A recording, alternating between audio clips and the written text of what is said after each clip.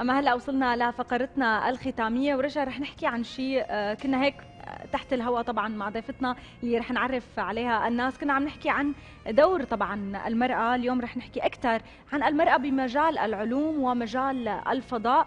طبعا آه، محاولات كثيرة كانت لجعل دور المرأة متكافئ مع دور الرجل بهذا المجال. لذلك هي المحاولات الحثيثة جعلت من يوم 11 شباط فبراير حسب طبعا الأمم المتحدة هو يوم تعليمي ويوم للاحتفال بالمرأة في تعلم آه، العلوم بالعالم أجمع. طبعا رح نحكي أكثر عن هذا الشيء على المستوى العربي و ننزل أكثر على المستوى السوري نتخصص أكثر بهذا الموضوع. بصرنا يكون معنا سيدة من السيدات السوريات اللي دخلت مجال علم الفلك وتحديدا الجمعية السورية للفلك. آه، معنا اليوم السيدة أكيد تركيا جبور يسعد صباحك وأهلا وسهلا فيك. يسعد صباحك سلمى. صباح الخير. صباح الخير رشا يسعد صباحك. كل عام وأنتم بخير مو بس بمناسبة يوم العالمي للمرأة والفتاة بمجال التعليم مناسبة بعد فترة كمان عيد الأم. يعني نحن لازم كل يوم عنا عيد. المرأة دائما موجودة يعني بكل المجالات. يعني طبعا. اليوم عم نعيدها بعيد الأم عم نعيدها ب 11 فبراير يعني. آه، بتحسي اليوم المرأة لأي مستوى آه، وصلت بالتساوي وتمكنت تكون جنبا لجنب إلى جانب الرجل؟ هلا بالنسبة للفترة الحالية نحن نحكي بسوريا من فترة عشر سنين وجاي المرأة جنب لجنب بالرجل بكل شيء. يعني نحن عندنا فترة الحرب اللي عشناها فرضت على المرأة السورية ظروف ما كانت مفروضة صح. عليها قبل. فرضت عليها أعمال جديدة فرضت عليها تكون بميادين جديدة. هي ما كانت موجودة فيها بالفترة السابقة. طبعا. أكيد. خلينا نحكي اليوم عن هذا اليوم اللي آه، بدأته طبعا الأمم المتحدة 11 فبراير أو 11 شباط. آه، آه، شو كان السبب؟ الأكبر وكيف شفتوا تداعيات وجود مثل هذا اليوم؟ وانعكاسه ايجابيا على السيدات؟ هلا الأمم المتحدة أو أي حدا فينا ليش آه، بيقول مثلا هذا يوم آه، للنساء أو هذا يوم الأم أو هذا يوم للاحتفال بكذا ليسلطوا الضوء على شيء المجتمع بحاجته. يعني نحن مثلا بالمجتمع عندنا نساء طبيبات عندنا نساء فنانات رسامات موسيقى بمجال الموسيقى لكن وين الفقر بالموضوع؟ بمجال العلوم والتكنولوجيا رياضيات فيزياء كيمياء والهندسات. هذا المجال النساء قليل جدا ما كانت تقبل عليه. هذا اليوم تم إطلاقه بديسمبر 2015 آه، لحتى يركز على دور الفتيات والنساء بمجال العلوم والتكنولوجيا. ضمن دراسة أجروها بين تقريبا عام 1997 لل 2010 بهاي الفترة شافوا يا ترى نسبة النساء اللي عم يروحوا على مجال العلوم والتكنولوجيا والرياضيات كبيرة ولا قليلة؟ فكانت النسبة كثير منخفضة. بصير عند الفتيات إقبال على هاي العلوم بين سن 11 ل 15 سنة. بتكون هاي العلوم كثير محفزة لهم لكن بعد فترة ال 15 سنة بصير بصير إقبال على علوم ونشاطات ومهارات أخرى. واغلبها النشاطات المتعلقة يعني مثل ما بيوجهوا الأهالي إما الموسيقى أو الفن أو هدول الأشياء. فالأمم المتحدة لحتى تركز على دور المرأة والمساواة مع الرجل بدأت تحتفل وأطلقت هي الاحتفالية اللي هي اليوم الدولي للنساء والفتيات بمجال التعليم. نركز عليهم بمجال الهندسات. يعني إحنا هلأ بال 2022 آه، فيروس كورونا من سنتين فرض علينا ظروف ما كانت هي مفروضة علينا من قبل. اضطرينا نتعلم اونلاين نعمل محاضرات اونلاين صح. آه المؤتمرات كلها صارت اونلاين فنحن لما استخدمنا هاي التكنولوجيا الجديدة أو هاي التقنية الجديدة سواء بالتعليم سواء بالمحاضرات سواء بالسفر فنحن بحاجة لتطوير أكثر. هلأ عندنا الذكاء الصنعي يعني عندنا مجالات كثير كبيرة وعم نشوف حاليا تركيز على الروبوتك. يعني هذا المجال عم يكونوا فيه الذكور أو الرجال أكثر من النساء. الأمم المتحدة انطلاقا من هذا الشيء عم بتحاول تركز وتحاول تدخل المرأة بكافة هاي العلوم اللي هي الهندسات والتكنولوجيا. طيب إذا هيك حبينا آه، نبسط ونعطي معلومات أكثر اليوم المرأة ضمن هذا المجال. آه، شو بش يعني شو بتشتغل؟ شو الاختصاصات اللي بتتدرب عليها؟ شو ممكن آه، إذا تطورت بوضعها المهني والثقافي؟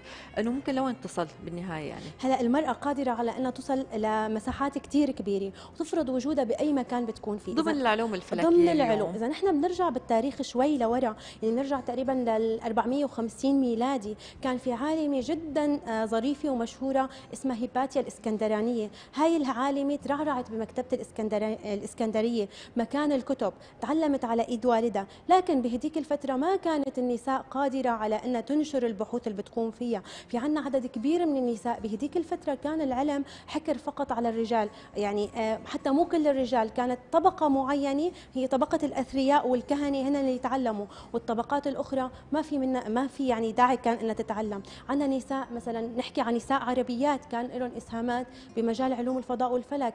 عندنا عالمة مشهورة جدا اسمها مريم الاسطرلابيه اشتغلت ببلاط سيف الدولة الحمداني. طورت الاسطرلاب الاسطرلاب هو آلة مثل ال GPS حاليا لرصد النجوم صح. مواقع النجوم. ما في سفينة بتخلى من الاسطرلاب رغم التطور اللي نحن فيه هلأ كل سفينة في في موجود فيها اسطرلاب لحتى إذا صار أي خلل نحن نقدر نستعين فيه. عالمات مثلا مريم المجريطية سميت بالمجريطيه نسبة لوالدها مجريط هي مدريد.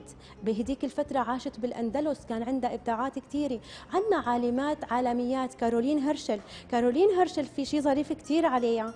إنه هي الطفلة أول ما يعني تقريبا بعمر ثلاث سنين صابتها الجدري. فصار وشها فيه ندبات. بعمر العشر سنين صابت تفوقيد فوقف نموها.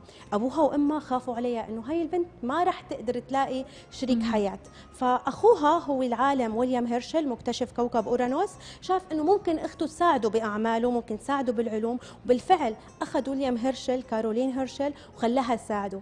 هي ال... هي الطفله اللي خافوا على مستقبلها إنه ما تلاقي شريك حياة. هي أول امرأة بتتقاضى أجر على عمل علمي. تم تكريمها من المجمع الفلكي البريطاني. آه، سجلت اكتشافات مذنبات وسدم باسمها. يعني المكان اللي بتكون فيه المرأة وبدها تنجز شيء قادرة. عندنا فالنتينا تيريشكوفا أول رائدة فضاء غزو الفضاء. البرنامج الفضائي الروسي أو السوفيتي اول ما انطلق بالستينيات بعد إطلاق أول قمر صناعي بال 57 الاتحاد السوفيتي بلش يفكر إنه اولا بعثوا يوري جاجارين مثل ما قالت سلمى قبل شوي غزو الفضاء. لازم تكون يكون الاتحاد السوفيتي الأول بكل شيء ففكروا بإطلاق امرأة للفضاء. الامرأة كانت فالنتينا تيريشكوفا تشتغل بمصنع للنسيج مثل مثل كل هالبنات ولا على بالها ولا ببالها الفضاء ولا شيء. شافت الإعلان إعلان برنامج الفضاء الروسي وقررت انها تقدم. لما قدمت كانت من بين 400 متقدمة تم الاختيار أربعة منهم. كانت أول امرأة تصعد للفضاء. دارت حول الأرض 48 دورة. يعني آه، سجلت إنجاز للمرأة بهديك الفترة فترة 1963 اللي العالم لساتها ما ما عرفان العالم وين رايح. كانت امرأة تغزو الفضاء. واستغرق بعد فالنتينا تروشكوفا تقريبا 19 سنة لتم إطلاق امرأة أخرى. عندنا نساء يعني في عندنا كمان أسماء. كاثرين جونسون. كاثرين جونسون كثير عالمة متميزة. يعني ما كثير إنه في تسليط للضوء حتى عليها. يمكن إذا بتدوروا ما كثير حنلاقي معلومات عنها. لكن كاثرين جونسون هي عالمة أمريكية من أصل إفريقي. بفترة الستينيات كان في تمييز عنصري كثير ضد السود. فهي كانت من ضمن العالمات اللي اشتغلوا بناسا وكانت تحسب تخيلوا مسارات الرحلات الفضائية لألان شبرد ويوري آه، عفوا ونيل آه، أرمسترونغ أول رحلة على سطح القمر. فمن خلال حساباتها هي آه، شاركت سموها كمبيوتر ناسا الذي يرتجط النور يعني كانت كاثرين جونسون متميزة جدا بعملها. وفي عنا نساء كثير إذا بدنا نحكي عن ميدان العلوم في نساء كثير اشتغلوا بهذا الحقل صح. لكن ما تم تسجيل اكتشافاتهم بأسمائهم. إما مثلا مثل هيباتيا باسم والدها أو عالمات أخريات مع كانوا يشتغلوا مع أزواجهم. العالمة الوحيدة اللي كلنا بنسمع فيها ويعني آه ذاع صيتها هي ماري كوري. ماري كوري صحيح. كوري من العالمة البولندية اللي اشتغلت مع زوجها العالم بيير كوري. هذا الشغل آه، شغلة مع زوجها والتكافؤ اللي كان بينهم شهر ماري كوري وهي أول امرأة تحصل على جائزة نوبل مرتين. يعني هاي الإنسانة إنجازات حلوة وأسماء كثير حلوة. يعني. آه، دائما نحن إذا بنبحث حتى بمجال العلوم العربية عندنا بالهندسات مثلا المهندسة زها حديد.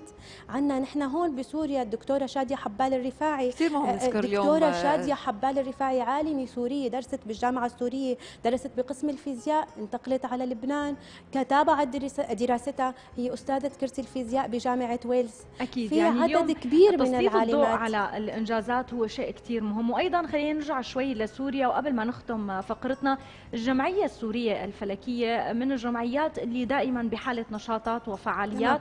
ومن أهم المشاريع اللي أطلقتها من فترة طويلة هي مشروع الفلك الصغير. خلينا نعرف شو خليني أقول لوين وصلنا بهذا المشروع؟ هلا هذا المشروع هو من أول ما تأسست الجمعية ب 31 8 2005 نشاطاتها بتهدف لتغطية كل الأراضي السورية بتعليم علوم الفضاء والفلك وصنع ركيزي لهم نحن من خلال وجودنا بالاتحاد الدولي للفلك وجودنا كمنسقين لمكتب التوعية الفلكية وتعليم الفلك بسوريا عم نحاول من خلال الجمعية ننشر هاي العلوم. طبعا نشاطاتنا كانت دائمه مستمرة. طبعا أنت تيجي تقولي نشاط فلكي من غير ما تكون في تلسكوب تطلعي على السماء هو ما يعني منه كثير مقبول. مزبوط. لكن نحن مثل ما حكيت لكم قبل شوي الكورونا فرضت علينا ظروف. أسسنا لشيء إنه تعليم الفلكي الصغير أو مشروع الفلكي الصغير اونلاين اشتغلنا مع الأطفال اونلاين بعدين بلشنا نشتغل معهم على أرض الواقع بس صارت الظروف أحسن. آه عم بتلاقي إنه نحن هاي الفترة في عنا إقبال كثير من خلال كل يعني كل الأهالي حابين يدخلوا أولادهم بمشروع الفلكي الصغير. نحن هلأ الفلك هو المستقبل. يعني نحن إذا بعد فترة عشر سنين حرب بدنا نطور هاي البلد نحن بحاجة لننهض فيها بالعلم. وعلوم الفضاء والفلك هي من أهم العلوم. تمام. نحن بحاجة لنعتمد على العلم لنطور حالنا ونطور أطفالنا وبلدنا أكيد. بدنا نعايدكم أول شيء وهيك نتمنى لكم كل الخير ونشوف نسب أكبر بالأيام الجاية. بدي أتشكر حضورك معنا لليوم وصباحك خير على طول. يسعد صباحك رشا يسعد صباحك سلمى. شكرا لك وشكرا لوجودك معنا.